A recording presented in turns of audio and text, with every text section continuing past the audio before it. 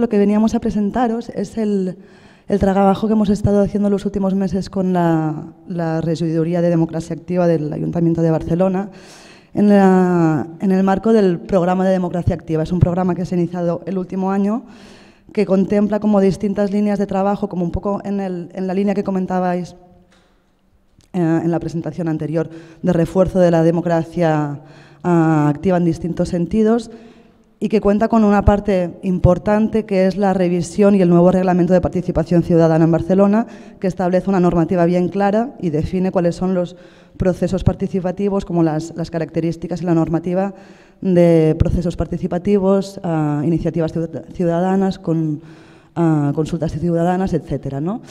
Entonces, a nosotros se nos encargó a diseñar el sistema de evaluación de todo este programa que de alguna forma entendemos que si estamos intentando, hemos desplegado como un, sistema de, indicadores de evaluación bastante completo, que de alguna forma se están evaluando cómo se está desplegando y cómo está funcionando el programa de democracia activa, indirectamente también pueden ser utilizados como herramientas de, de análisis y evaluación de la calidad democrática, en tanto que de alguna forma es lo que busca el programa. ¿no?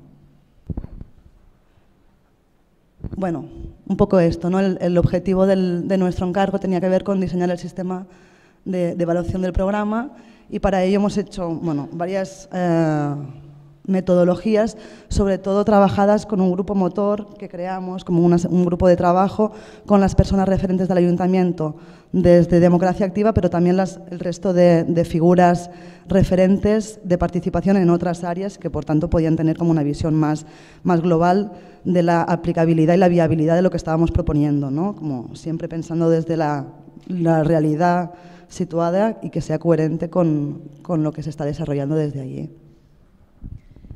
Bueno, entonces la metodología que propusimos para diseñar el sistema de indicadores fue partir de una matriz de marco lógico, desde una lógica más de lo que es la gestión de proyectos.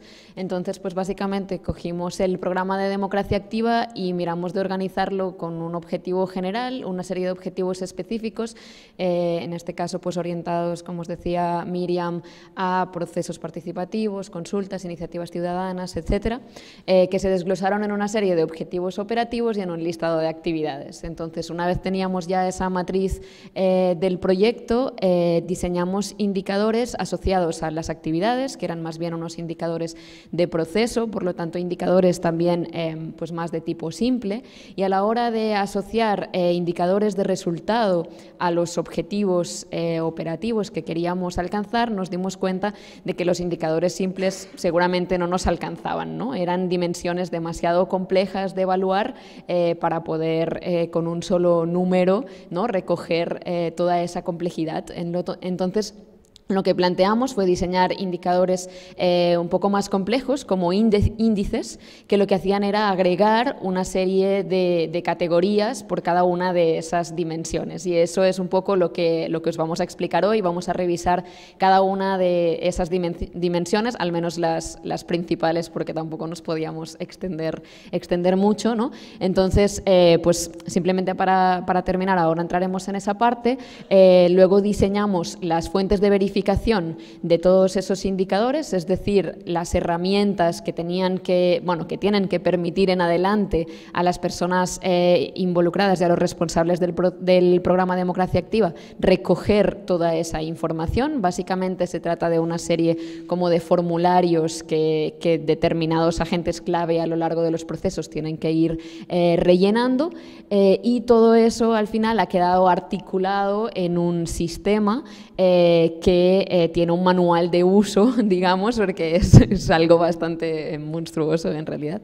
Em, entonces, pues tiene un manual para que eh, las personas responsables de, cada una de las partes de la recogida de información, del análisis eh, y luego pues de, la valoración final del programa, pues puedan, puedan realizar cada uno de esos, de esos pasos.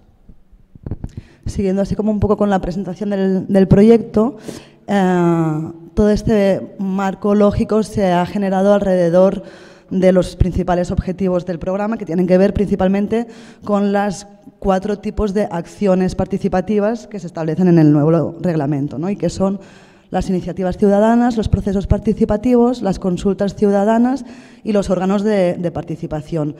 Para cada uno de ellos hemos establecido eh, objetivos operativos y actividades con sus indicadores asociados. Y aquí lo que queríamos, como apuntaba Carla, el, tema es bastante complejo, queríamos coger como los procesos participativos como ejemplo para contaros como, mm, los indicadores que hemos pensado. Y a la vez, ah, estos son como los indicadores complejos que se derivan de, los procesos participativos y los que queríamos presentaros porque nos parece que también son los más interesantes en cuanto a pues, toda la reflexión que, que conlleva poder pensar, definir de qué hablamos cuando hablamos de accesibilidad, qué dimensiones contiene, cómo se evalúan estas dimensiones, de qué hablamos cuando hablamos de diversidad, pluralidad, trazabilidad, transparencia y funcionamiento general. ¿no? Entonces, eh, la primera dimensión sobre la que os queríamos contar cómo la hemos desglosado es la accesibilidad. Entonces, eh, básicamente aquí tenéis una serie de, categorías. ¿no? Entonces, para hablar de accesibilidad hemos hablado de horarios, hemos hablado de ubicación, que tiene que ver con el acceso en transporte público, pero también que la ubicación no, esté, eh, no desincentive la participación de determinados colectivos. Eh, tiene que ver con cómo, cuánto, en qué lenguas se realiza la convocatoria de cada una de las actividades que se realizan a lo largo de los procesos participativos, eh, con la señalización, con la accesibilidad para personas con diversidad funcional, lo cual eh, se concreta en una serie de preguntas que tiene que ver también con si el, espacio está adaptado para personas ciegas, para personas sordas, em, para personas con, con movilidad reducida, etcétera. Entonces, eh, cada una de estas categorías que veis aquí eh, se traduce en una serie de preguntas que eh, una persona tiene que ir valorando y rellenando. ¿no? Entonces, eso lo hacemos para cada una de las actividades que se realizan a lo largo del proceso participativo. Eh, otros elementos son el nivel de tecnicismo del lenguaje y el acceso online. Entonces, eh, aquí es donde el DECIDIM juega un, un papel determinante. para cada una de estas dimensiones os queríamos plantear una serie de preguntas o retos con los que nos hemos encontrado. Algunos los hemos trabajado un poco más otros los hemos trabajado un poco menos porque todavía pues, hay, mucho camino que, que recorrer. ¿no? Entonces, en el caso de la accesibilidad, eh, nos encontrábamos fundamentalmente con, dos problemas. ¿no? Uno es que muchos de los procesos estandarizados del ayuntamiento pues no necesariamente están pensados para una accesibilidad eh, como detallada a este nivel. ¿no? Entonces, por ejemplo, cuando hablábamos de comunicar en bastantes lenguas, pues la normativa dice que hay que comunicar eh, en, en catalán y máximo catalán y castellano. Entonces, ¿hasta qué punto estamos siendo totalmente accesibles si solo comunicamos en estas dos lenguas. ¿no? Entonces eh, nos planteábamos si, podemos pedirle más a los procesos participativos de lo que la misma normativa está, está exigiendo. Eh, y respecto al DECIDIM, eh, lo que vemos es que recoger esta información para cada actividad a lo largo de un proceso participativo es algo que realmente requiere muchísimo trabajo. Entonces, cómo las herramientas online pueden facilitarnos esta recogida de tantísima información a lo largo de un proceso proceso participativo. ¿no? Entonces ahí vamos lanzando preguntas para la fase más de, reflexión.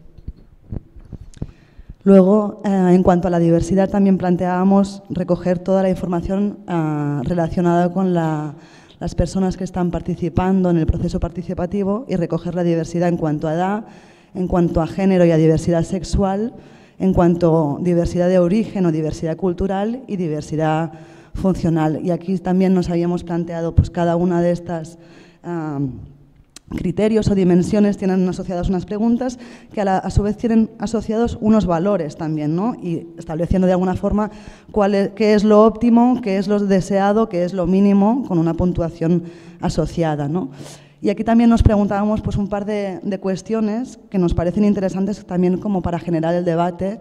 Una de concepto, eh, que tiene que ver con, que la diversidad tampoco no es un estándar, no es un concepto universal, no hay una diversidad universal, sino que es relativa a cada grupo de población. Y si pensamos en los procesos participativos y pensamos que se dan en un barrio o en un distrito o en un territorio concreto, probablemente la, la diversidad real de ese barrio o de ese distrito sea distinta de un barrio al otro. Por tanto, La pregunta es si nos deberíamos marcar como unas expectativas de diversidad relativas a cada población de cada territorio o bien podemos usar unas mismas, teniendo en cuenta la complejidad que estamos añadiendo a todo este tema, ¿no?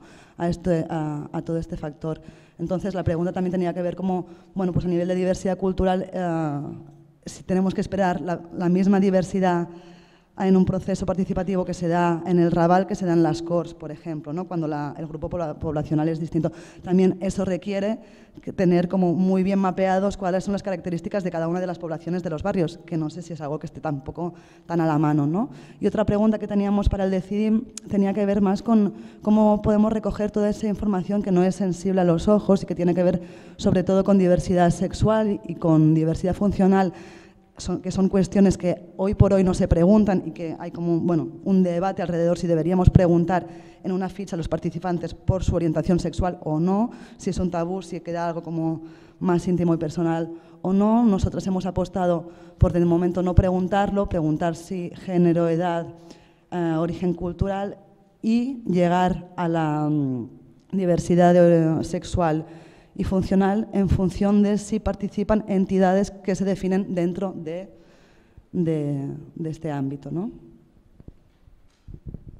Eh, respecto de la pluralidad, que la hemos entendido, em, porque bueno, a veces hay confusión, diversidad, pluralidad, entonces la pluralidad la hemos entendido como eh, la diversidad de posicionamientos respecto del objeto de debate del proceso participativo.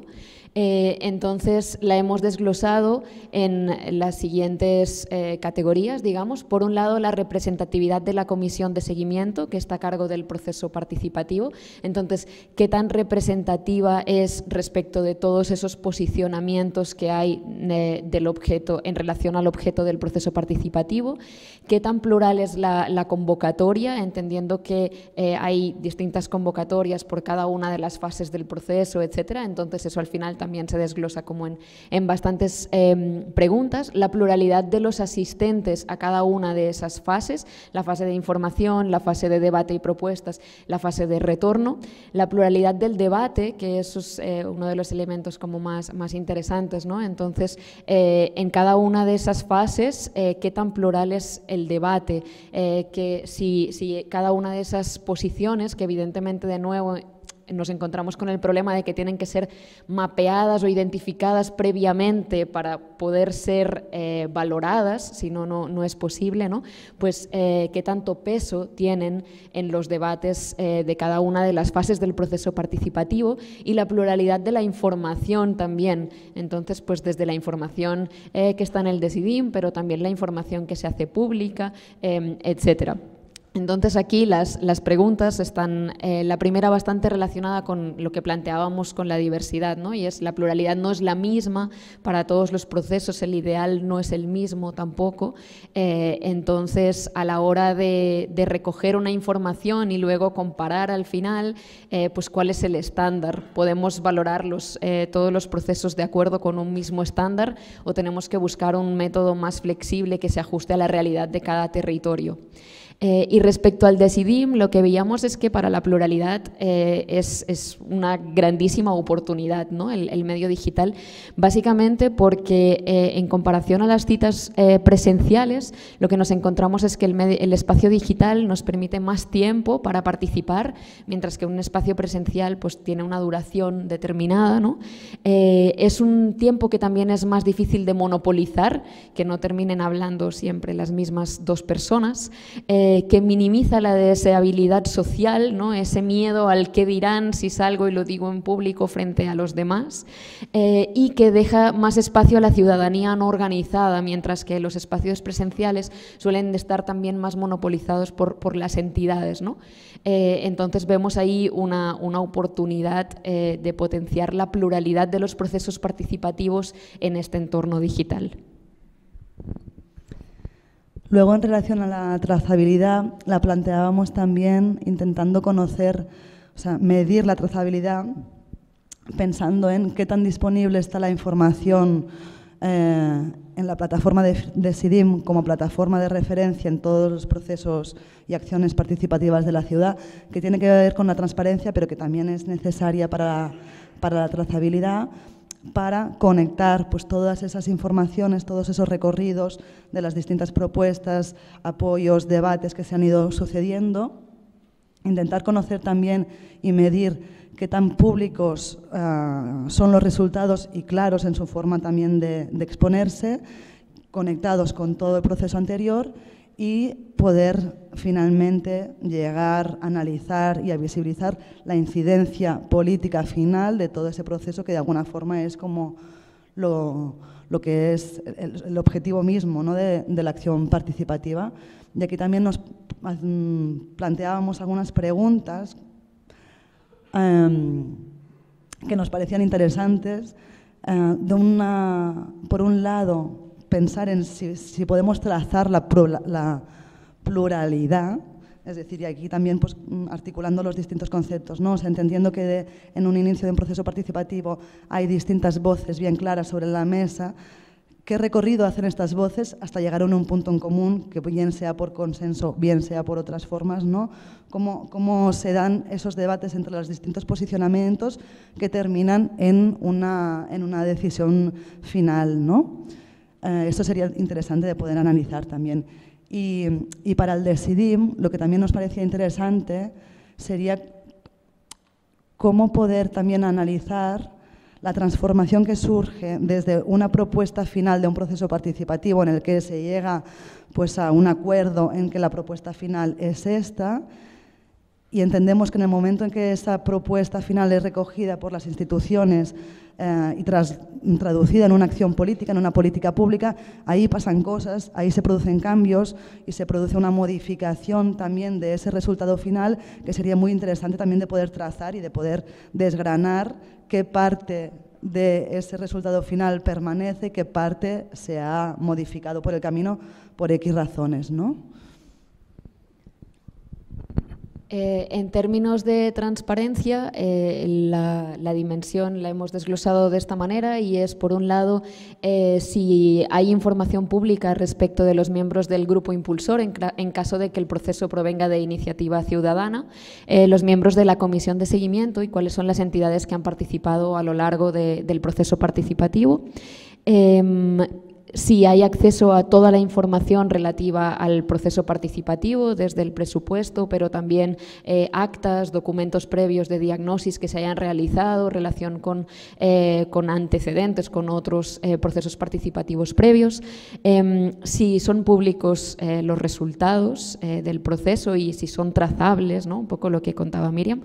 Eh, si hay información pública de la incidencia de esos resultados, entonces, ¿qué pasa después?